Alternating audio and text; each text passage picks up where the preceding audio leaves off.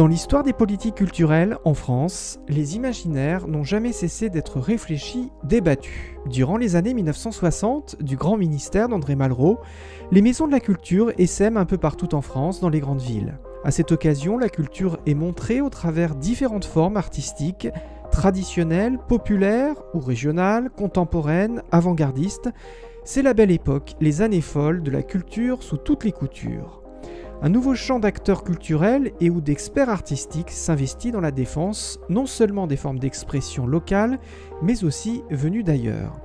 C'est ailleurs qui fascine toujours autant qu'autant des grandes conquêtes, seulement voilà, la décolonisation va faire apparaître de nouveaux modes de représentation artistique plus respectueux des peuples locaux. Et des initiatives locales se multiplient. Dans les années 1970, de nombreuses villes hors Paris font en effet le pari que des festivals consacrés aux arts dits traditionnels trouveront leur public. Ainsi, par exemple, en 1974, c'est la première édition du Festival des arts traditionnels à Rennes, sous la houlette de Shérif Kasnadar, que nous entendrons dans ce programme, directeur alors de la Maison de la Culture de Rennes. Qui aurait pu imaginer que huit ans plus tard, ce festival servirait de prémisse au Festival de l'Imaginaire, d'envergure internationale à Paris, au théâtre de l'Alliance française 1982, c'est également l'année de la création de la Maison des cultures du monde à Paris, l'association devenue référente en matière de patrimoine culturel immatériel. Bonjour à tous et à toutes, bienvenue dans ce nouvel épisode d'Imaginaire du présent qui nous ramène à l'hommage rendu à Jean Duvigneau, justement, président de l'Association des Maisons des Cultures du Monde jusqu'en 2000 et fondateur de la Revue internationale de l'imaginaire. Je vous lirai un texte écrit par Jean Duvigneau dans cette revue en 1999, intitulé L'énigme.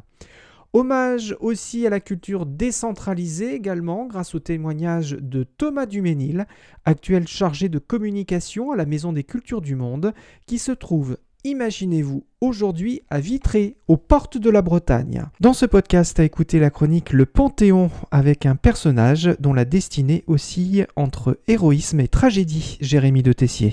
Et oui, le mois précédent a été marqué par le bicentenaire de la disparition de Napoléon Bonaparte et la commémoration, faut-il dire, de cet événement. C'est un destin extraordinaire que celui de Napoléon Bonaparte, qui se confond littéralement avec l'histoire. Au cours de sa carrière, comme il disait lui-même, cet inconnu échappé du Nil s'est trouvé propulsé au sommet de l'Europe dont il a redessiné la carte et bouleversé les institutions. Il disait Les hommes de génie sont des météores destinés à brûler pour éclairer leur siècle.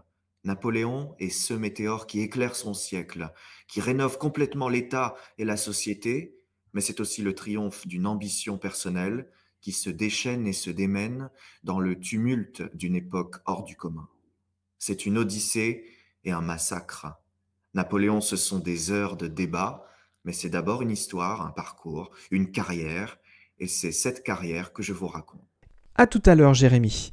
Vous écoutez Imaginaire du présent, c'est le dixième épisode. Place à l'interview.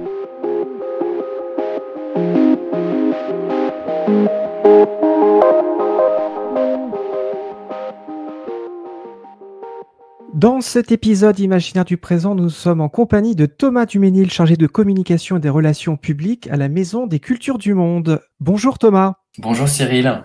Nous sommes euh, au prieuré des Bénédictins à Vitré, donc où vous êtes en train de nous parler, à la Maison des Cultures du Monde, le Centre français du patrimoine culturel immatériel, l'association référente en matière de diversité culturelle et euh, de patrimoine euh, et du spectacle vivant. Nous sommes dans la région Bretagne, à côté de Rennes, une euh, commune très connue à Vitré. Je vous laisse nous présenter dans un premier temps, Thomas, situer l'histoire de la Maison des Cultures du Monde. Oui, merci Cyril. Bah, je vais essayer de faire au plus court, hein, parce que l'histoire est assez longue. et puis je pense qu'elle permet aussi d'éclairer ce qu'est la Maison des Cultures du Monde. Euh, la Maison des Cultures du Monde est une association qui approche de, de la quarantaine. Euh, elle a été créée euh, en 1982 euh, à l'initiative de, de Shérif Kaznadar dans l'idée de de promouvoir euh, la diversité culturelle, euh, la fertilité euh, des imaginaires des peuples contemporains à travers le monde, dans l'idée de, de, faire découvrir aussi au public français des formes d'expression artistique venues du monde entier, souvent inédites. et elle a été créée donc à Paris, mais sur on va dire, la, base d'un travail qui avait, d'une expérimentation, on va dire. c'était plus qu'une expérimentation, c'était déjà un mmh. travail qui avait bien abouti, euh, qui avait été mené à Rennes, euh, dans ce qui euh, s'appelait alors la, Maison de la Culture de Rennes, ce qui s'appelle aujourd'hui le Théâtre National de Bretagne. et donc Rennes, où donc Shérif Kaznadar avait créé un festival, le Festival des Arts Traditionnels, dans lequel euh, il invitait euh, déjà des sociétés, des peuples qui présentaient des, des, formes d'expression, des créations, enfin des, en tout cas des formes d'expression, on va dire traditionnelles, mais en, en mouvement, en recréation euh, perpétuelle. Euh, et donc voilà, c'est sur la base de ce festival des arts traditionnels qui, est, qui existait entre, qui a existé entre 1974 et 1982, voilà, pendant huit éditions, euh, que la Maison des Cultures du Monde a été créée. C'était donc à Paris et accueilli donc à l'Alliance française, boulevard Raspail, dans le 6e arrondissement. Mhm. Euh, et euh, donc, euh, vraiment dans, un, un, peu, en tout cas en tant que pionnier dans cet accueil des de formes de spectacles vivants du monde entier. En 1985, dans l'idée de documenter aussi, de, mhm. de renseigner ces formes d'expression artistique, a été lancé un label de disques, une, collection euh, mhm. qui, euh, qui s'appelle le label Inédit euh, et qui présente, alors on en reparlera je crois tout à l'heure, mais qui présente en quelques mots déjà, qui présente du coup des, des musiques de tradition savantes ou populaires, pareil, du monde entier. Euh, et qui euh, donc à travers des enregistrements de terrain, des enregistrements euh, de spectacles ou des enregistrements aussi en, studio qui présentent donc des musiques traditionnelles du, monde. je continue la, la chronologie. En, en, 1994 a été créé avec on va dire la, l'appui de, Jean Duvigneau, je crois vous mhm. connaissez bien. Ah oui, oui, tout à fait. Euh, une, une, revue euh, euh, toujours pour croiser les regards entre chercheurs, praticiens, représentants des communautés euh, qui portent euh, euh, ces formes d'expression artistique, mais aussi les, acteurs du monde culturel, aussi des personnes qui développent les politiques culturelles. voilà, une revue qui s'appelle l'International de l'imaginaire et qui, à travers donc 30 numéros, qui a été éditée jusqu'en 2017. Cette revue, elle, justement, elle, se présente comme un, lieu, un, lieu d'échange voilà, entre euh, différents représentants sur euh, les cultures du monde.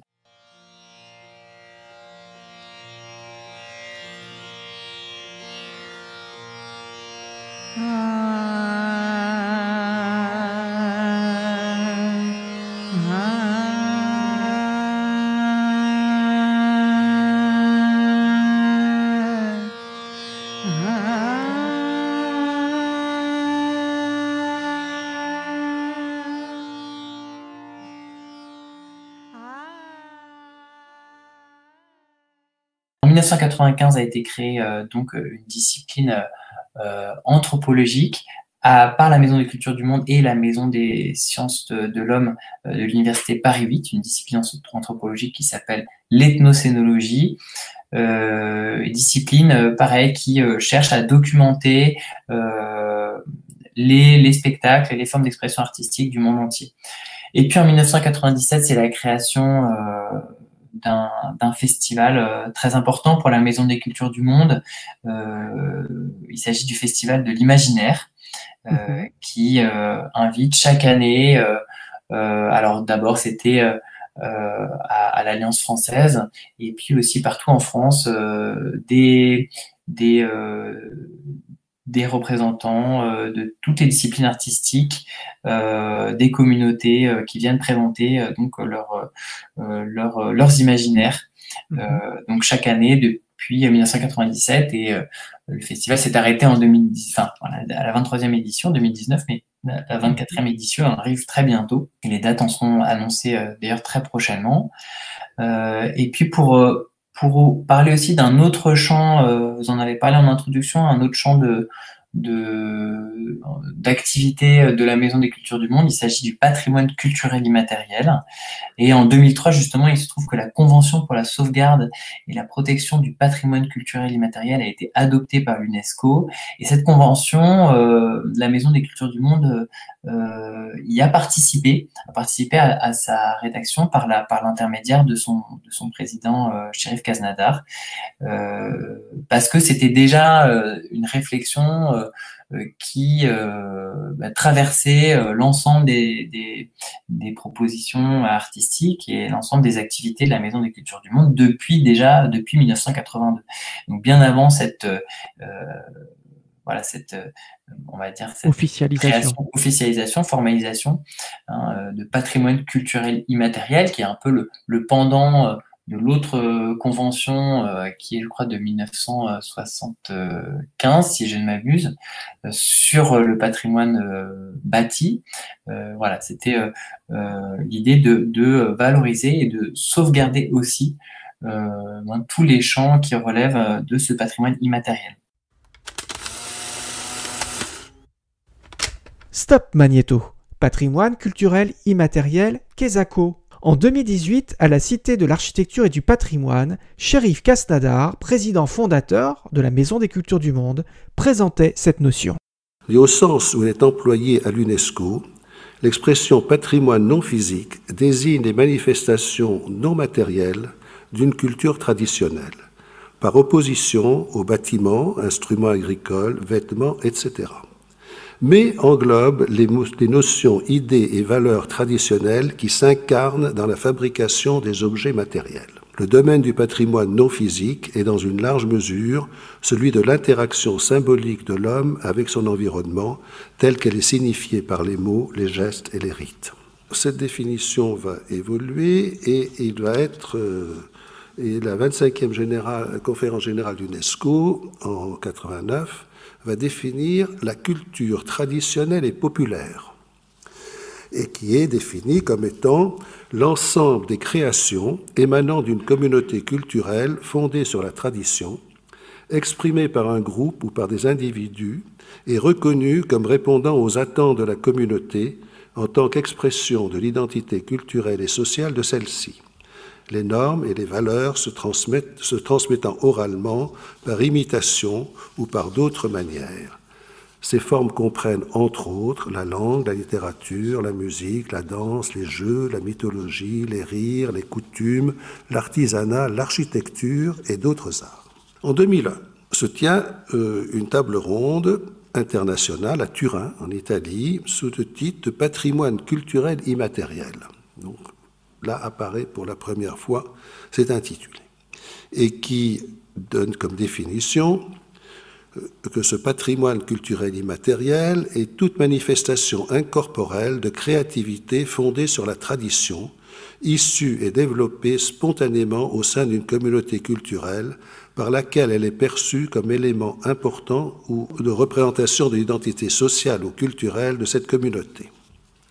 Cela inclut outre le produit immatériel des créations fondées sur la tradition, les processus sociaux, intellectuels et culturels qui, de génération en génération, par transmission orale, par imitation ou par d'autres moyens d'apprentissage, ont rendu possible le développement d'une tradition culturelle distincte dont la préservation et la protection sont importantes pour la sauvegarde de la diversité culturelle et de la créativité de l'humanité. Et donc actuellement, la définition, je la rappelle pour ceux qui euh, n'ont pas lu la Convention de 2003, on entend par patrimoine culturel immatériel les pratiques, représentations, expressions, connaissances et savoir-faire ainsi que les instruments, objets, artefacts et espaces culturels qui leur sont associés, que les communautés, les groupes et le cas échéant les individus reconnaissent comme faisant partie de leur patrimoine culturel. Ce patrimoine culturel immatériel, transmis de génération en génération, est recréé en permanence par les communautés et groupes en fonction de leur milieu, de leur interaction avec la nature et de leur histoire, et leur procure un sentiment d'identité et de continuité, contribuant ainsi à promouvoir le respect de la diversité culturelle et la créativité humaine. Aux fins de la présente convention, Seul sera pris en considération le patrimoine culturel immatériel conforme aux instruments internationaux existants relatifs aux droits de l'homme ainsi qu'à l'exigence du respect mutuel entre communautés, groupes et individus et d'un développement durable. C'était Shérif Kasnadar, président fondateur de la Maison des Cultures du Monde. Retrouvons Thomas Duménil depuis la ville de Vitré en Ille-et-Vilaine, qui évoque à présent l'arrivée du centre de documentation de la Maison des Cultures du Monde dans cette commune. 2005, euh, c'est euh, l'année de, de l'installation de la Maison des Cultures du Monde à Vitré. Alors d'abord, il s'agissait d'ouvrir un centre de documentation euh, à Vitré et puis surtout de d'avoir un lieu qui puisse accueillir euh, les collections euh, de la Maison des Cultures du Monde, collections très riches parce que euh, elle, elle se compose à la fois de d'archives, mhm.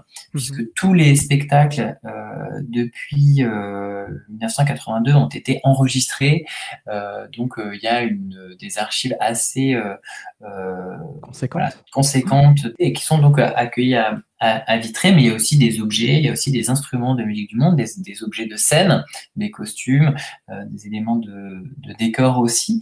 Euh, donc voilà, en tout cas, cette, euh, ce centre de documentation sur les spectacles du monde qui a ouvert en 2005 à Vitré, dans le prieuré des Bénédictins, dont nous parlerons également un peu plus en détail tout à l'heure, où je me trouve actuellement. Voilà, c'était pendant ces jusqu'en 2017, la Maison des Cultures du Monde a fonctionné sur ces deux pôles euh, entre euh, Paris euh, avec l'Alliance française, donc boulevard Raspail, et puis le, le prieuré des Bénédictins, qui est un cadre absolument, absolument sublime à, à Vitré.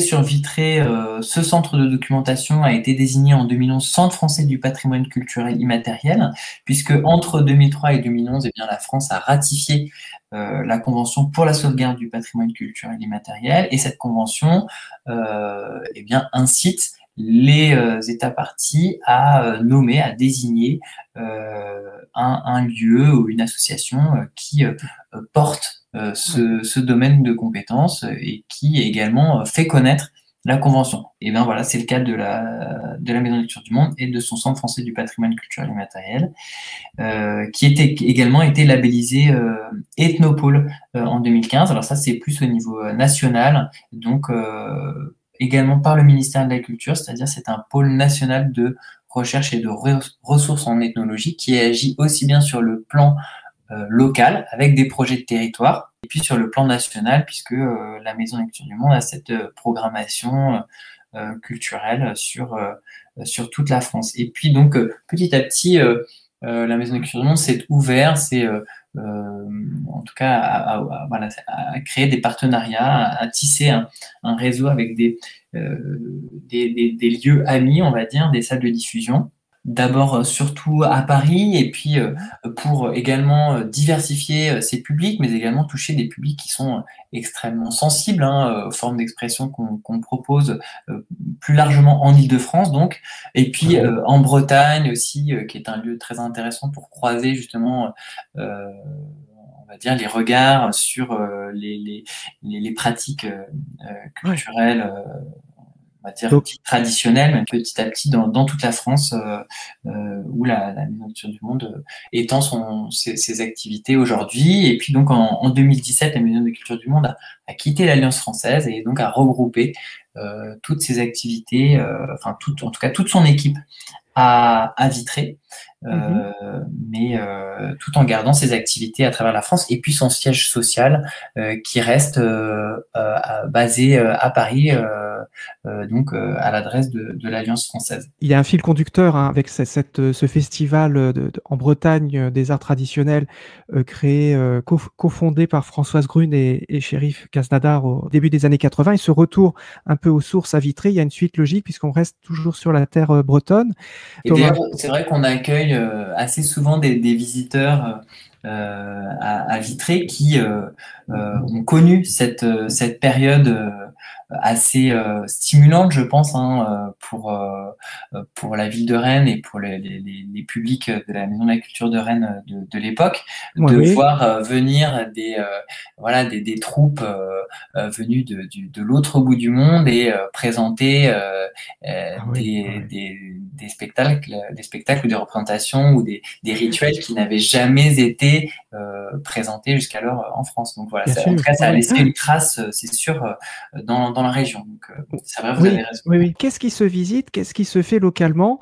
C'est un lieu d'exposition, de représentation, de résidence et de projet sur le territoire, comme vous, vous le rappeliez. Quelle est euh, l'activité actuellement donc à, à Vitré pour cette maison des cultures du monde, Thomas? Alors, c'est vrai qu'on est dans une phase un peu de, de réouverture, c'est-à-dire qu'on a eu euh, pas mal d'activités en ligne qui ont été initiées à la suite euh, bah, du, eh confinement, euh, activités qui, qui, nous ont euh, permis aussi de de, de bah, continuer l'activité, ouais, de continuer l'activité et puis aussi de toucher des nouveaux publics, de aussi De, de, réfléchir un petit peu sur ce qu'on pouvait proposer. Enfin, c'était voilà assez assez stimulant. Et donc on, on a lancé là un cycle de, de concerts en ligne euh, inspiré par une artiste amie euh, de la maison d'écriture monde qui s'appelle Wat Boisson, euh, qui donc invite des artistes basés en France pour des concerts solo.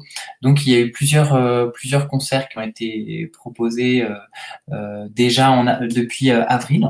Mm-hmm. Et puis il y en a deux au mois de enfin un au mois de juin et puis un tout début juillet euh, pour, euh, je pense, ça va clore euh, le cycle qui s'appelle donc Musicien d'ici, musique d'ailleurs.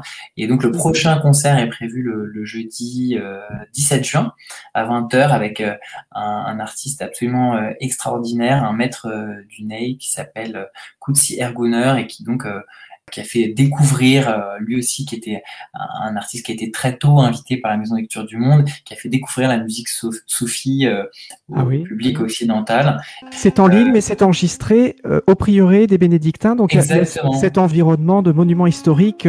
C'est dans un cellier, en fait, donc un cellier voûté qui a vraiment un, un cachet, donc c'est vrai que c'est un décor assez, assez magnifique. Nous, on a cette chance voilà, de, de, de, de pouvoir présenter euh, des très belles collections ou des, des artistes exceptionnels euh, mhm. dans un cadre qui en plus euh, dans un, véritable écran. Donc voilà, c'est une chance. Mhm. Autre activité en ligne aussi qui a été mise en œuvre. Alors, euh, entre les confinements, etc. là, il y a tout ça, ça, un peu au gré des péripéties euh, liées au coronavirus, mais c'est un projet qu'on est très heureux d'avoir pu mener à son terme.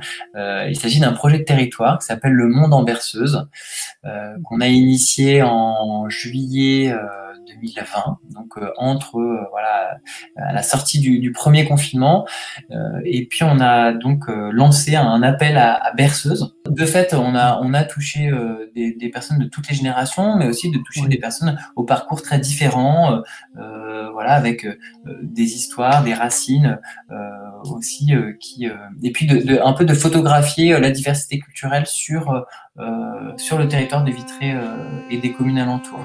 Puis là maintenant, on va se tourner vers des activités en présentiel, parce que ça y est, c'est bon. Enfin, on espère qu'on va pouvoir relancer vraiment les activités en présentiel avec euh, donc une nouvelle exposition qui commence euh, là le 19 euh, juin, qui durera jusqu'au 21 novembre euh, sur les, les masques d'Europe, avec une invitation à, à, voyager. Alors là, c'est vraiment une exposition, euh, on va dire, qui, qui révèle un peu le, la singularité ou l'angle d'attaque que peut prendre la Maison des Cultures du Monde. Ah c'est à la fois l'idée de faire voyager à travers l'Europe euh, des mascarades et des carnavals, et en même temps euh, découvrir euh, ces mascarades et ces carnavals par les coulisses, en essayant de, de se saisir de tous les savoir-faire et tous les imaginaires, toutes les techniques, les matériaux qu'on peut retrouver derrière les masques et les costumes de, de, de, carnaval et de mascarade. Donc ça, ça commence le 19 juin,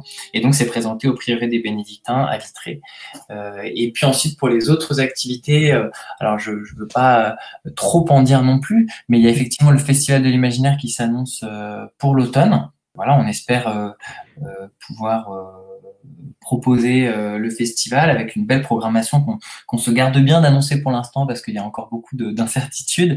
Et puis euh, ensuite parce que nous, c'est vrai qu'en plus de euh, l'accueil du public, bon ça c'est quelque chose sur lequel on peut espérer pouvoir, voilà, on peut espérer que ça, ça, ça, ça, fonctionnera. Mais nous, il y a aussi les déplacements internationaux. C'est vraiment quelque chose sur lequel, pour le coup, plane euh, pas mal d'incertitudes. Accueillir des artistes, là, ça devient encore plus compliqué. Ouais, ça dans le contexte. Mal choses. Bien sûr. Et, et, le lieu du festival de l'imaginaire, est-ce qu'il y aura plusieurs lieux? Est-ce qu'il y aura un lieu à Paris, un lieu à Vitré, ou ça restera essentiellement à Vitré? Pour l'instant, c'est en projet. Vous, vous ne le savez peut-être pas encore, Thomas. Si, si. Alors, on avait annoncé, euh, en fait, en 2020, on espérait euh, renouveler le format du festival et euh, se sédentariser un peu, c'est-à-dire euh, en tout cas le, ouais, le concentrer le festival au théâtre équestre Zingaro, puisque Bartabas, donc qui est un, un, ami des fondateurs de la Maison des Cultures du Monde et qui est donc le, le, le directeur artistique de, du théâtre équestre Zingaro, nous a invités dans ce lieu qui est un lieu absolument fabuleux un bel écrin euh, pour tous les imaginaires euh, qui sont mis à l'honneur euh, dans le cadre du festival. et malheureusement, ce, donc ça c'était pour 2020. et puis donc on, on, on, Là, on reste sur le format qui était le, format du festival euh, euh, avant, la crise du Covid et donc qui est euh, un format un peu plus nomade, mais néanmoins avec un week-end d'ouverture au théâtre équestre Zingaro, avec après d'autres dates aussi bien en Ile-de-France que dans le reste de la France à Vitré dans Finistère également, et puis d'autres villes euh, en France. Euh, voilà, mais ça, toutes les toutes les actualités, les informations euh, sont annoncées sur notre site maisondesculturesdumonde.org, et donc les dates seront révélées, et puis la programmation seront révélées très prochainement. Thomas, c'est vrai que vous avez bien détaillé ces trois axes de cette Maison des Cultures du Monde, ONG accréditée par l'UNESCO, à la fois ce volet de formation dont vous venez d'évoquer à travers des stages, des ateliers, des masterclass, il y a des résidences aussi hein, à, propos du patrimoine culturel immatériel. Ce centre de documentation où tout à chacun peut consulter la documentation sur ce sujet tellement vaste qui reflète bien euh, l'ouverture de notre pays, le volet éducatif, vous l'avez rappelé avec ses projets de territoire, et puis aussi des animations, on peut découvrir sur le temps périscolaire. Hein. vous êtes très investi sur cette temporalité l'été va arriver, il va y avoir des, touristes. Est-ce que c'est ouvert la Maison des Cultures du Monde cet été pour, euh, pour rentrer dans ce prieuré des bénédictins, pour euh, sentir la spiritualité qui y règne? Bien sûr, Cyril, on accueille le, public avec plaisir. Donc, euh, euh, avec en plus cette, cette belle exposition qui ouvrira le, 19 juin, il y aura des animations qui seront proposées autour de cette exposition, des ateliers euh, pour le jeune public. Euh, puisqu'on essaye, comme vous le disiez, avec pas mal d'activités destinées aux, scolaires, mais aussi à mhm. tous, hein, enfin surtout le jeune, voilà, vers le jeune public, des ateliers de fabrication de masques de carnaval, voilà, donc des, ateliers qui seront proposés pendant l'été, et puis des visites guidées aussi. Donc bien sûr, oui, on accueille le, le, public avec avec joie tout cet été et, pour cette pour cette exposition. Oui, il faut. alors c'est vrai qu'il faut un peu se se, perdre, parce qu'on est un peu en, caché derrière cette très belle église Notre-Dame, et souvent les, les, gens sont tellement fascinés, ils lèvent le nez, ils regardent, et puis ils ah arrivent tout d'un coup dans le cloître sans savoir trop comment ils y sont arrivés.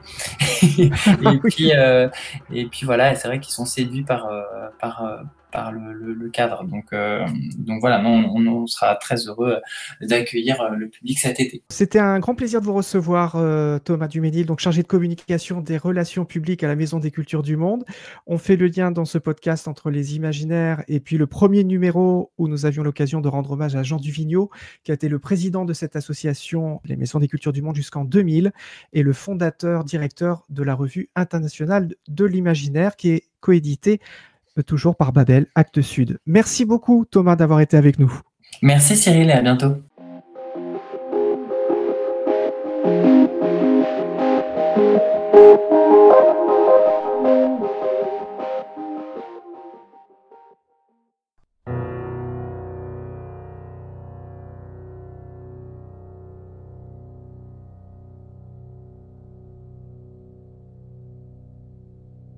Musique Musiquer, l'art des muses. Les dictionnaires assurent qu'elle excite les sentiments par des successions mélodiques et par des combinaisons harmoniques de sons mesurés et rythmés. Tout est dit, rien n'est dit sur ce langage universel. Le discours sur la musique illustre ce double jeu de sentiments contrôlés par une pure raison. Instrumentation surtout occidentale qui oublie que la création des sons et des rythmes embrase les corps et les esprits, mêle spectacle et spectateur, on y répond d'une manière chaque fois saisissante aux exigences naturelles de la mort, du sexe, de la faim ou de l'invisible. L'Occident a choisi de séparer la création sonore du corps, d'enfermer la musique dans un espace particulier comme le théâtre, de mettre le public à l'écart et silencieux. Lui clos du concert a concentré le talent et le génie. Ainsi, les Européens ont fait de la musique un objet de méditation, un objet métaphysique. De Kant à Schopenhauer, on y cherche le fondement de l'imaginaire, de l'esthétique. Ne répond-elle pas à quelque instance cachée Volonté, un déterminisme originaire émergeant à travers l'individu dans une expression panique. Nietzsche a écrit des pages somptueuses pour décrire l'origine irrationnelle, dionysiaque, de la musique et de la tragédie. L'art figure la souffrance d'être mutilé dans son individualité. L'apparition de musique jusque-là inconnue ou dédaignée comme le jazz a joué ici le même rôle que la découverte par les peintres des arts africains ou asiatiques. Et ce que l'on a dit avec Artaud du théâtre balinais, on peut le dire aussi de Stravinsky, de Bartok, de Satie. Ajoutons-y les révélations de l'anthropologie telles que les a fait connaître le magnétophone. Le concept de l'art des muses et la métaphysique de l'Occident ne couvrent pas l'infinie diversité des figurations imaginaires des sons. Loin d'être un langage universel, la création de trames musicales semble en appeler à des visées incompatibles et auxquelles il faut se mettre à l'écoute. Incompatibles et non seulement différentes. Se dépouiller de la puissante réflexion occidentale n'est pas aisé. Mettre entre parenthèses ce que nous croyons du langage universel, tenter de saisir à travers des combinaisons sonores et rythmiques ce que cherchent à atteindre les Bédouins d'Abu Dhabi, les chamans de Corée, les boshimans de Namibie, et tous ceux qui manifestent encore leur existence par le geste, le rythme et le son. Les grandes banlieues urbaines d'Occident ne s'ouvrent-elles pas, elles aussi, à ces utopies? Utopies, parce qu'on échappe peut-être par là à l'esclavage des déterminismes. Si l'on pense avec toutes les parties du corps, on donne aussi leur sens aux combinaisons instrumentales et l'expression musicale n'est pas un mode d'expression auquel manquerait la parole ou l'écriture, mais un effort d'anticipation du vécu sur le non encore vécu, une virée hors de soi. Roger Bastide, en un sens voisin, suggérait de déchiffrer dans les masques sauvages ou les figures sculptées moins la représentation de puissances invisibles ou de Dieu que la manifestation d'une force de l'être tendue au-delà d'elle-même par la danse, la musique, la trance ou la fête. Une prospection de l'expérience possible. Que serait l'existence si elle n'arrachait pas, pour un moment éphémère, à la trame des choses vécues? Montage d'un extrait de texte de Jean Duvigneau intitulé L'énigme extrait de l'International de l'imaginaire, nouvelle série numéro 11, coédité par euh, Babel, Acte Sud. Le titre s'appelle Les musiques du monde en question.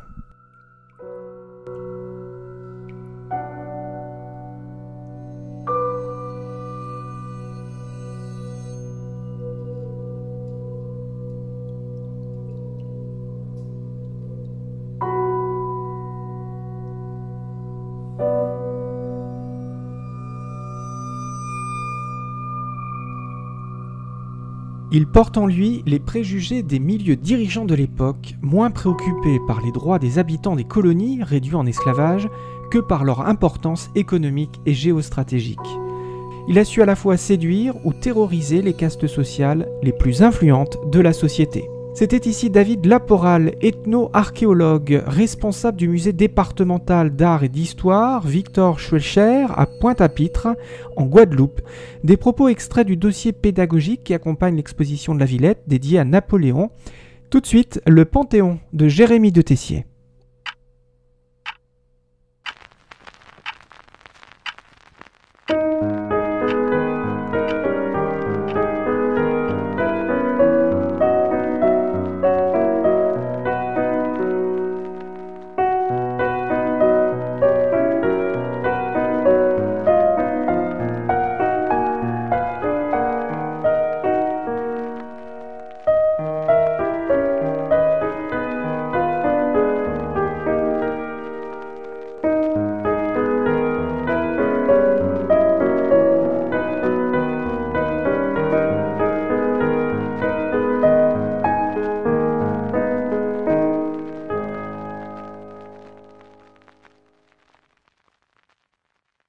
Comment devient-on Napoléon?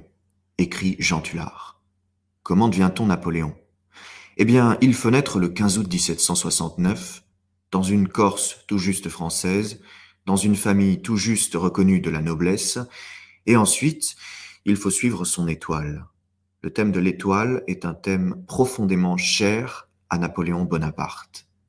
Sa jeunesse corse est heureuse, semble-t-il, mais en France, où il accoste en décembre 1778 pour étudier, il va se trouver enfermé pendant sept ans au collège de Brienne, puis à l'école militaire de Paris, et son identité va se construire dans la solitude et l'austérité, la passion des mathématiques et de Rousseau. Comme futur soldat, il est appelé à défendre la France, son soi-disant pays, mais le jeune Napoléon ne voit en France que des oppresseurs, et travaille intellectuellement dans sa tête à la libération de sa patrie, la Corse. Il est un fervent admirateur de Pasquale Paoli, l'ancien chef des indépendantistes corses, comme le fut jadis son père Carlo Maria, qui a combattu auprès de Paoli avant de se ranger sous la bannière française. D'ailleurs, je ne vous ai pas parlé de ses parents. Son père est un avocat ambitieux, animé du désir brûlant, presque consumant, de voir ses enfants réussir, arrivée. Et sa mère, Laetitia Ramolino, est une guerrière qui s'est battue, elle aussi, et passe en outre pour la plus grande beauté d'Ajaccio. Elle donne naissance à huit enfants survivants qui porteront plus tard bien des couronnes européennes.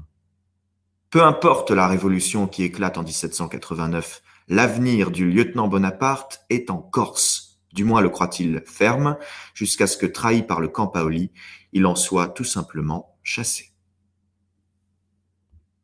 L'ascension de Bonaparte sera fulgurante ou ne sera pas. On ignore toujours les motivations profondes qui habitent un homme, Mais la Révolution française qu'il avait jusqu'alors méprisée devient en 1793 la cause de sa vie.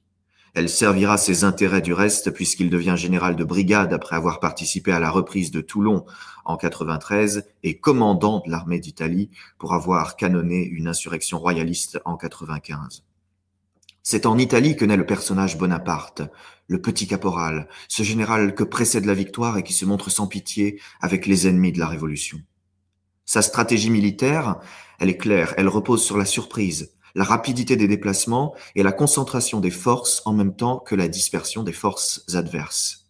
Au soir de Lodi, brillante victoire parmi tant d'autres, brillante victoire qui lui ouvre la porte de Milan en 96, Bonaparte écrit Je me regardais pour la première fois, non plus comme un simple général, mais comme un homme appelé à influer sur le sort des peuples. Je me vis dans l'histoire. Le directoire, qui est le régime de la France depuis la chute de la Convention, commence à se méfier de ce général qui prend excessivement la lumière. Aussi son fantasque projet d'aller conquérir l'Égypte rassure. Le régime est fragile et il est bon de tenir loin qui le menace. Mais le rêve oriental de Napoléon Bonaparte est un trompe-l'œil.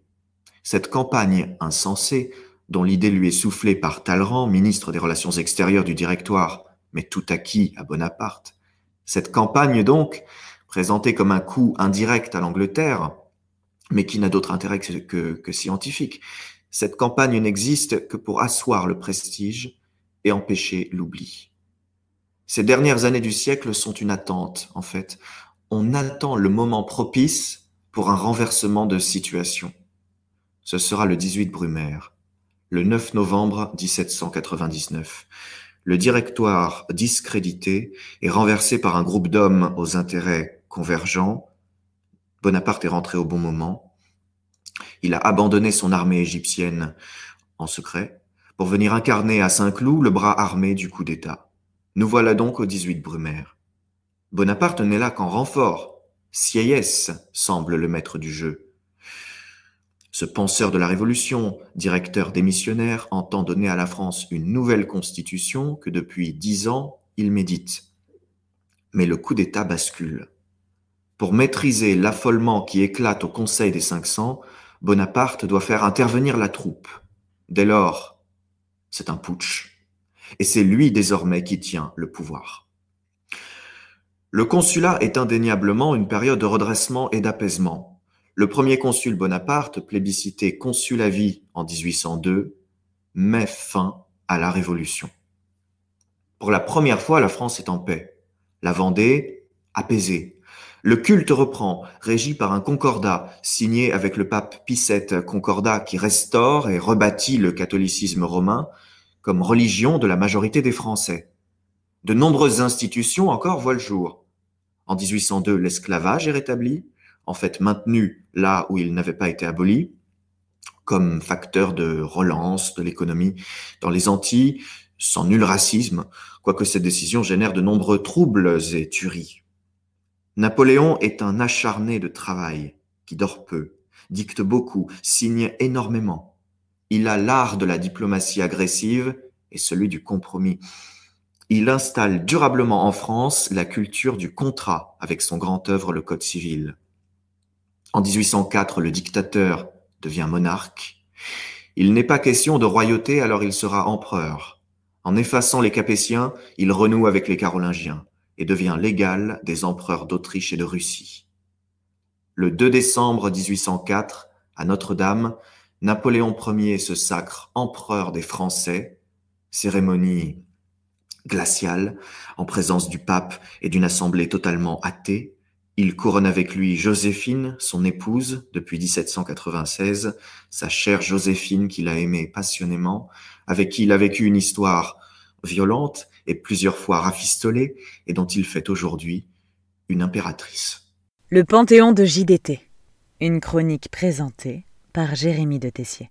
Les années Napoléon passent vite, et à côté des masses de granit du nom des institutions civiles euh, qui naissent sous le consulat et l'Empire, Conseil d'État, Banque de France, préfet, lycée, Légion d'honneur franc-germinal, Code civil, Cour des comptes, cet ensemble de mesures dont nous avons hérité, même si notre système aujourd'hui est un mélange complexe aux héritages multiples. Ces années Napoléon, donc, sont aussi des années de guerre, et par là jonchées de millions de morts. Combien de morts dans les guerres napoléoniennes? C'est une question intéressante. Suivant le chercheur britannique David Gates, 5 millions, 5 millions de morts, dont 916 000 Français. C'est en 1805 que la guerre reprend sur le continent après ces quelques années de pseudo-paix.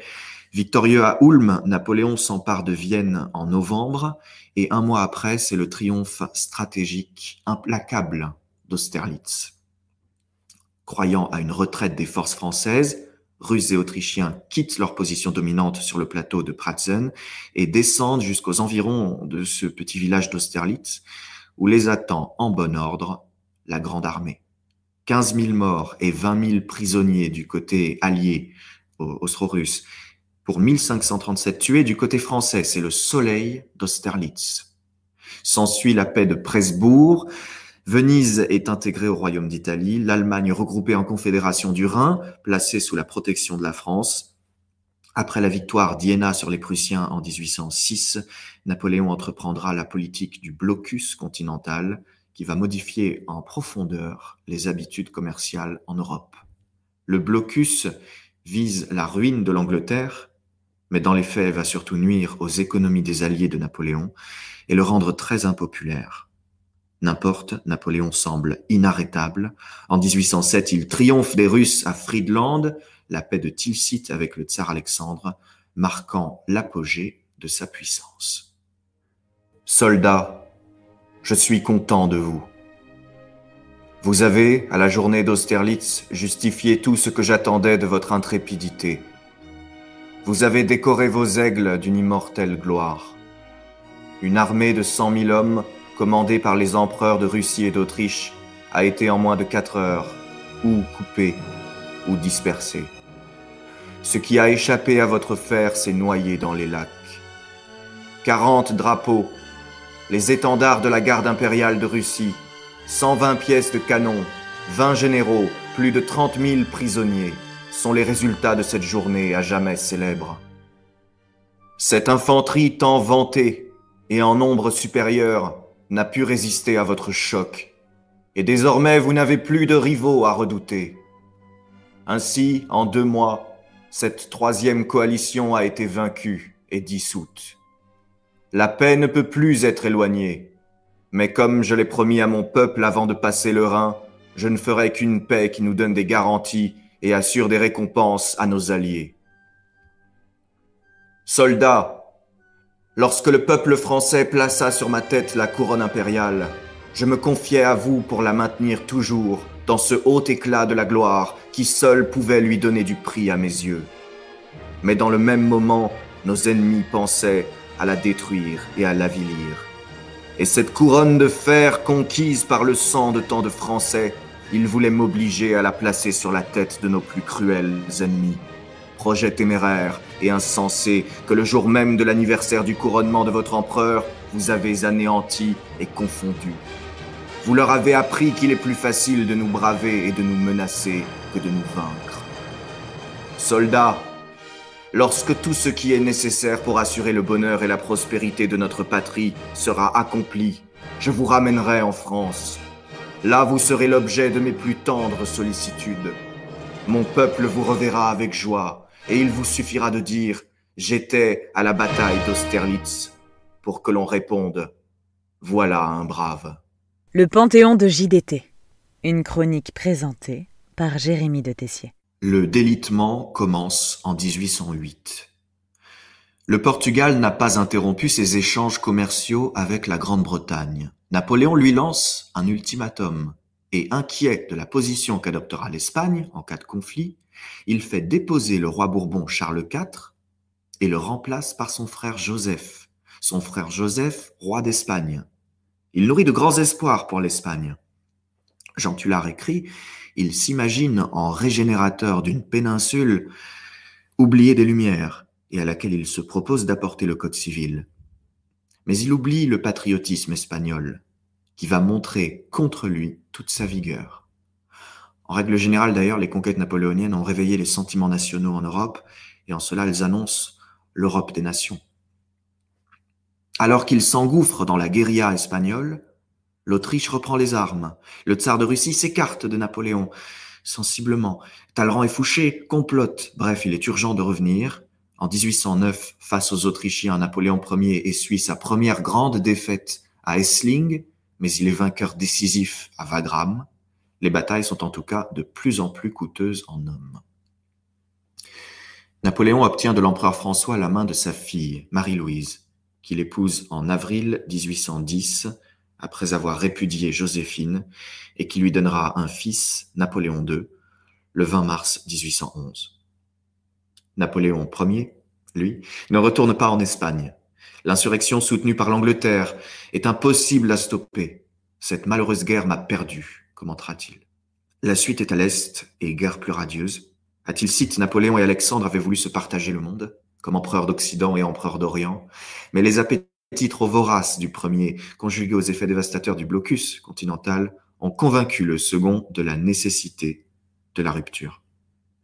Les 500 000 hommes de Napoléon pénètrent en Pologne. Ils ne comptent pas aller plus loin. Et c'est une nouvelle guerre éclair qui s'annonce. Mais les forces russes reculent, reculent encore. Et à sa grande surprise, Napoléon se retrouve, sans l'avoir voulu, à entrer dans Moscou. Il est maître de Moscou, mais le piège se referme sur lui. Le comte Rostopchine, gouverneur de Moscou, fait brûler sa ville. Napoléon hésite. Il ordonne la retraite quelques temps après, et c'est Kutuzov qui se lance à sa poursuite. La grande armée va disparaître dans la neige. 500 000 hommes avaient passé le Niemen à l'aller. Au retour, ils sont 25 000. Napoléon a 45 ans. Ce 31 mars 1814, sur le tableau de Paul de la Roche, on le voit lourdement abattu, le regard vide, et surtout complètement seul. La veille, il a perdu Paris et s'est réfugié à Fontainebleau. Bientôt, il perdra son trône et sera exilé sur l'île d'Elbe. Comment son si grand empire a-t-il pu s'effondrer tel un château de cartes? Eh bien, la réponse est évidemment militaire, puisque toute la puissance de Napoléon a reposé sur les armes. Alors reprenons. Après le désastre de la campagne de Russie en 12, la Prusse et l'Autriche sont rentrées en guerre en 13. Cette nouvelle coalition, la sixième, a battu Napoléon à Leipzig, bataille extrêmement meurtrière. L'Allemagne est perdue, la Hollande est perdue, l'Espagne est perdue, le Royaume d'Italie encore. Les coalisés entrent en France en 1814. Ce sera la campagne de France, l'une des plus belles de Napoléon. De grandes batailles sont livrées il tente un coup d'audace en cherchant à couper l'approvisionnement des Alliés à l'arrière plutôt qu'à protéger Paris. Mais la manœuvre manque et il doit abdiquer euh, le 4 avril 1814. C'est là que la légende prend une nouvelle dimension. Quand l'ex-empereur, moins d'un an après, quitte en secret l'île d'Elbe sur laquelle il avait autorité pour reconquérir la France. Le vol de l'aigle est ce retour incroyable de Napoléon jusqu'à Paris que Louis XVIII, le roi restauré, doit quitter dans l'urgence. Cette marche en réalité savamment calculée pour réussir et que l'histoire seule a fait irrésistible, mais ce pari, ce pari quand même sur le destin. L'Empire est ressuscité. Ce n'est plus l'Empire des grandes heures, c'est un régime de compromis qui réaffirme très fort les valeurs de la Révolution et tente de s'attirer le soutien des libéraux. Mais le vrai problème est clairement à l'extérieur. Car les souverains de l'Europe, dérangés en plein congrès de Vienne, n'ont qu'une idée en tête, se débarrasser définitivement de l'ogre Napoléon, mettre fin à cette aventure personnelle qui déchire l'Europe. Lui choisit l'offensive plutôt que la défensive. Il espère, comme à l'accoutumée, une victoire immédiate, éclatante, décisive. Le 16 juin, il obtient une victoire, mais limité sur les Prussiens, à Ligny. Et le 18, au sud de la commune de Waterloo, il se retrouve face aux Anglais.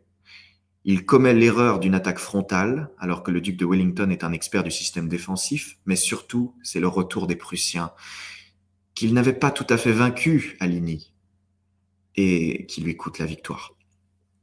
Waterloo, morne-pleine, porte le coup d'arrêt à la carrière de Napoléon.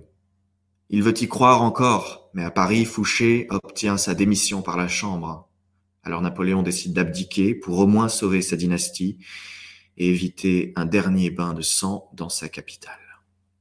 Il s'imagine, grâce à de prétendus sauf-conduits britanniques trouvés refuge aux États-Unis, où il se consacrerait pour le restant de ses jours aux sciences, mais c'est à Sainte-Hélène, minuscule îlot volcanique de l'Atlantique Sud, qu'il est envoyé terminer ses jours. Il ne s'en évadera pas, impossible. Mais mieux, il y bâtira sa légende, jour à jour pendant six années, réécrivant les grandes pages de l'Empire et s'érigeant tel Prométhée enchaîné en martyr de la Révolution, en martyr de la France.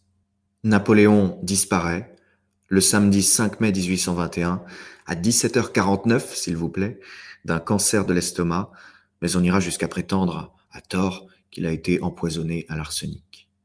Il rend à 51 ans, et selon le mot de Chateaubriand, le plus puissant souffle de vie qui jamais anima l'argile humaine.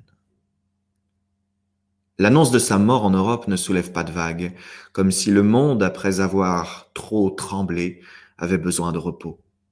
C'est quelques années plus tard, avec la publication du Mémorial en 1823 et le retour des cendres en 1840, que Napoléon, dans une France devenue trop calme, prend une nouvelle ampleur, devient ce symbole, l'image même de la gloire passée, sublime jusque dans sa chute, image saisissante de l'empereur vaincu sur son rocher du bout du monde. Le XIXe siècle a été traumatisé par la Grande Révolution de 1789 et par la défaite de Waterloo en 1815. Ces deux événements l'ont en quelque sorte fondé et ces problématiques s'ancrent autour de leur analyse et de leur résolution. J'aimerais en finissant rendre un hommage personnel à Napoléon. C'est par lui qu'enfant je suis arrivé à l'histoire, fasciné par la dramaturgie de son épopée, fasciné par son étrange caractère de résilience et d'insatiabilité, et sa conscience des éléments. Il a été comme un guide, et je l'en remercie et je suis heureux de l'accueillir en retour dans mon Panthéon. Merci Jérémy de Tessier pour euh, ce Panthéon. Rappelons qu'il y a une exposition à la Villette euh, depuis le 28 mai, l'exposition Napoléon. Il y a trois commissaires euh, à cette exposition, Bernard Chevalier, conservateur honoraire du patrimoine, Arthur Chevalier, écrivain éditeur, Frédéric Lacaille, conservateur général en charge des peintures du 19e siècle et des prêts aux expositions des châteaux de Versailles et de Trianon. Cette exposition retrace donc euh, au travers 150 pièces originales le parcours de Napoléon. Une rubrique de l'exposition est conçue avec la Fondation pour la mémoire de l'esclavage et dédiée au sujet de la politique coloniale de Napoléon et du rétablissement de l'esclavage. Merci Jérémy. Merci, à bientôt.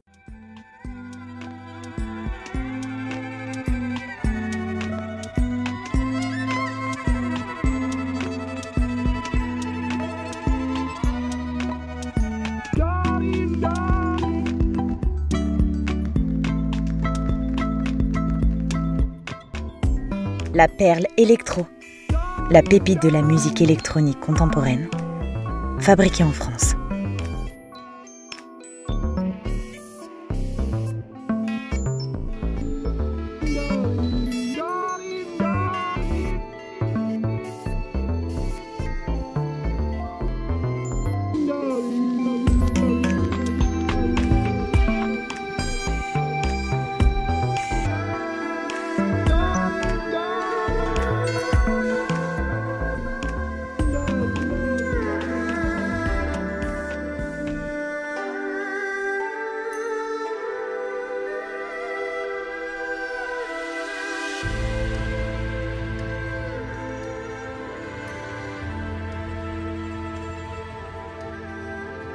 Il a passé une partie de son cursus au conservatoire de Versailles, agrémenté de cours privés. À 18 ans, il devient fasciné par la musique électronique.